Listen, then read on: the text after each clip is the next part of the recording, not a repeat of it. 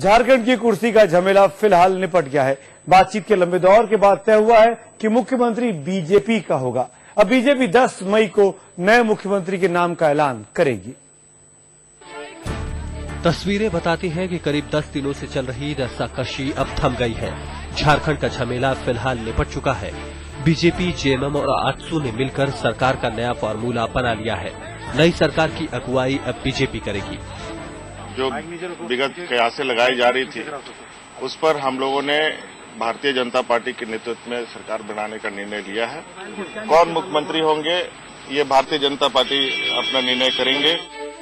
अब बीजेपी इस मंथन में जुट गई है कि कौन होगा झारखंड का नया सीएम। तीन नाम पर चर्चा गर्म है। पूर्व वित्त मंत्री यशवंत सिन्हा, राज्य के पूर्व सीएम अर्जुन मुंडा और अभी वहाँ के डिप्टी सीएम रघुवर दास। लेकिन अगर आदिवासी मुख्यमंत्री की मांग ने ज़ोर पकड़ी तो फिर tried and tested Arjun Munda ही होंगे पार्टी की पसंद। हालाँकि कोई भी फैसला 10 मई को ही होगा।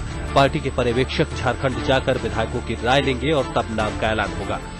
बीजेपी अध्यक्ष नितिन गडकरी के घर पर समझौते की बातचीत में तय हुआ कि एक कॉमन मिनिमम प्रोग्राम होगा और इसी के तहत बीजेपी की अगुवाई में अब सरकार चलेगी। झारखंड को कांग्रेस के कुशासन से राष्ट्रपति शासन से बचाना है।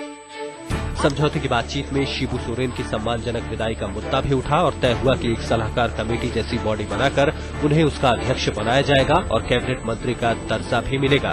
ज़ाहिर है गुरुजी संतुष्ट हैं। आप खुश हैं? ज़रूर खुश है। पूरा पूरा इस पर। हाँ? आपकी सहमति अरे बता तो दिया मर्दे। बीजेपी को राहत मिल ही गई लेकिन पार्टी आलाकमान को नेतृत्व और गठबंधन से जुड़े कई सवालों के जवाब ढूँढने बाकी हैं। तय है कि ब्रेक के बाद जब झारखंड की कहानी फिर से शुरू होगी तो उसमें कई ट्विस्ट आएँगे। कैमरामैन संजीव के साथ अमिताभ सिन्हा दिल्ली आज तक।